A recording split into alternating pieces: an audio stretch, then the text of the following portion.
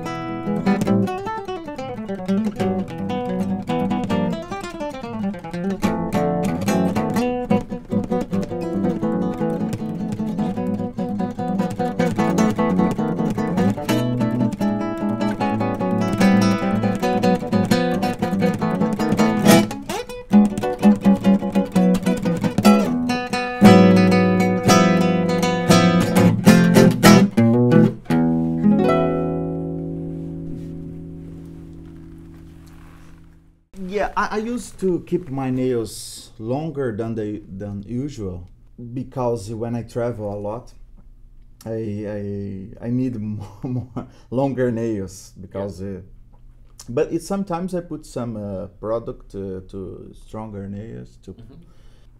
My, my nails uh, is, is strong. It's very strong. My Right. nails. Sometimes I, I I take a lot of uh, vitamin. I have my polish here. Right. I have every time I have to because the sound of uh, the the string uh, most of the time is um, uh, the nail is very important to be very well polished Right. and, and uh, that I use to use to polish a lot before the concert and even after the concert to keep the nails the same shape Right. because uh, you have to keep uh, like a, a shape uh, not so uh, special shape like uh, like that one.